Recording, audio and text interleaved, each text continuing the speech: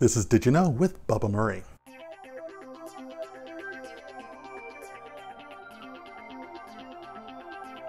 Rapper's Delight by the Sugarhill Gang is considered the first hip hop song.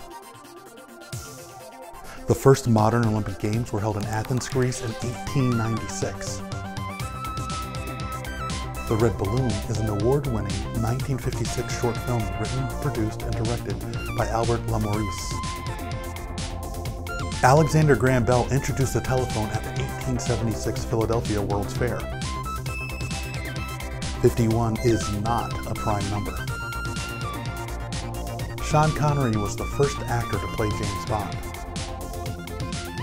The thermometer was invented in 1607 by Galileo. One in 10,000 people have perfect pitch. Track athletes are most likely to break records late in the day. Kristin Shepard shot JR. That's it for today. And if you like what you saw, make sure you hit that subscribe button, which is there.